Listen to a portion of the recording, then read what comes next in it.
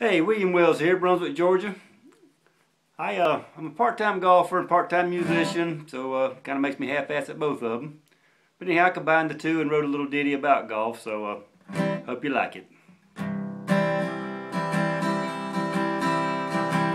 I've heard it said golf's a lot of fun, can be played by most anyone.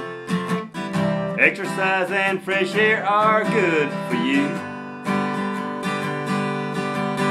Well, I played my share, I have had some fun, but I'll confess to everyone, I do believe golf is killing me. I've had a lot of the pros' advice, I still hook and I still slice. I top a few and hit more than my share of trees.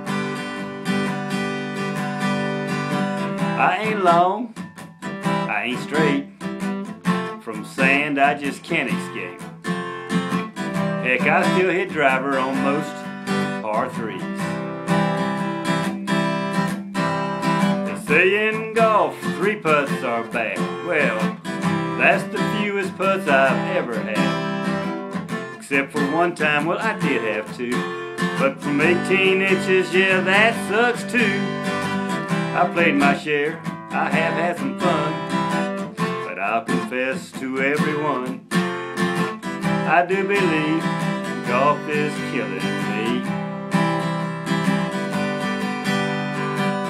I have walked on hallowed ground, where ghosts of past champions abound, legends of the game throughout history. Game they play, I can't relate. They take three where I need eight. Further proof, golf's just not meant for me.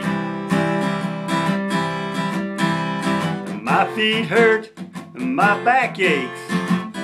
Over tap ins, my hands shake. Friends have questioned my manhood. Over putts, they tell each other, oh, pick it up, that's good. Yeah, I played my share. I have had some fun, but I'll confess to everyone, I do believe golf is killing me.